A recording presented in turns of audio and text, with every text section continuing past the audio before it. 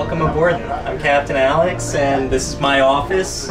And we are on board the Raven, which is one of Watermark's private charter vessels. Today we're doing a tour of Baltimore Harbor. Come on out and join us anytime. The yacht has been really, really comfortable. There's an indoor part and an outdoor part for more quiet networking. It's terrific. But we can also be out here on the deck and socialize in the sunshine.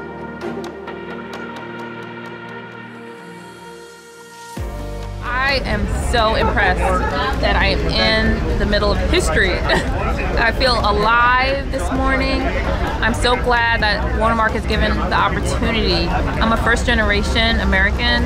My family came here for opportunity. I just, I feel like this is a surreal moment. I'm so grateful for Watermark making this happen to ride by the area where the Star Spangled Banner was written, that's a fantastic opportunity to let me know that my service in the military was not a waste. It was to protect and to define what America is all about. This is fantastic, and I'm very, very thankful to have this opportunity. You know, this has been a great tour today. We really wanted to get our members and guests out here to see what's going on around the Port of Baltimore. Thank you to Watermark and the Raven. We definitely exceeded our expectations and look forward to doing again soon.